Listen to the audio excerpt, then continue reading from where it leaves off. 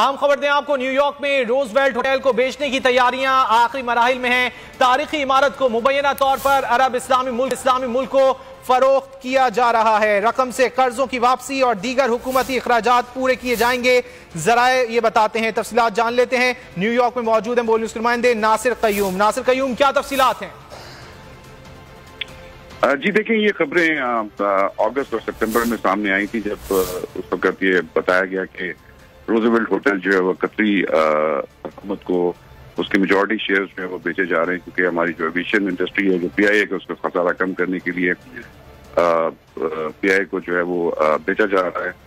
تو اس کے ساتھ ہی کیونکہ یہ جو روزویلٹ ہوٹل ہے نیو یارک میں، یہ پی آئی اے کی ملکیت ہے، تو اس کے بھی majority share fifty one percent جو شیئرز تھے، وہ بیچے، وہ اس کے ساتھ ہی بیچے جا رہے تھے۔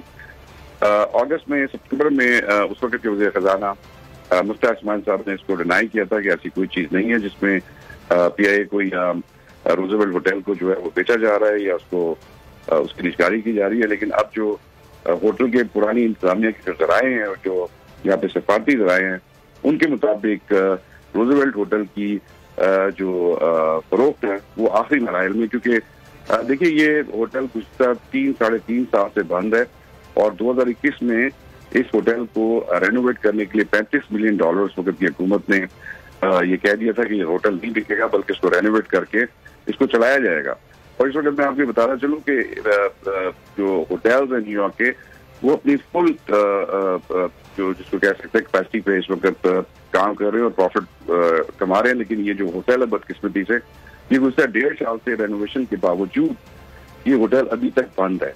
اور یہ ایک مسٹری تھی کہ یہ کیوں بند رکھا جا رہا ہے اور اب یہ مسٹری آستہ سے سامنے آئی ہے کہ یہ ہوٹل جو ہے وہ اپنے فروغ کی آخری مراحل پہ اور یہ میں آپ کو بتانا چلوں کہ اس ہوٹل کی جو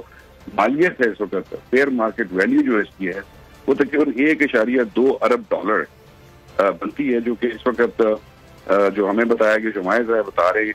کہ یہ اپنے ساری جو ادائیگیاں ہیں جو کچھ لونز اٹھائے گئے اس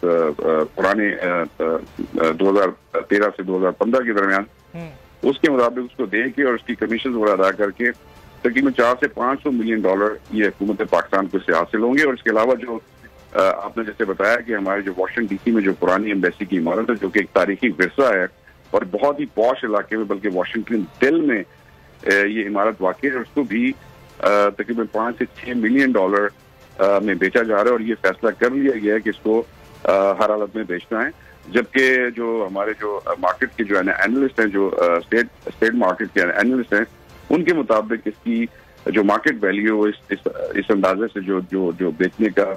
جو پرائز دی گئی ہے، جس پرائز پہ نیگوشیٹ کیا جا رہا ہے، اس سے تقریباً دگنی پرائز پہ یہ بڑے آرام سے اس وقت مارکیٹ میں بک سکتی ہے، یہ جو عمارت ہے، جو کہ ایک تاریخی وصہ ہے اور جو ایک ہمارا پرائڈ ہے پاکستانی قوم کا۔ تو یہ دو جو اثاثے ہیں بیرون ملک جو بہت ہی قیمتی اثاثے ہیں ہمارے ان کو بیچنے کی تیاریاں جی مکمل ہو چکی ہیں یہاں پہ۔ تیاریاں جی۔ مکمل ہو چکی ہیں بیرون ملک موجود اثاثوں کو بیچنے کے لیے۔ بہت شکریہ ناصر قیوم آپ نے سوالے سے اپڈیٹ کیا۔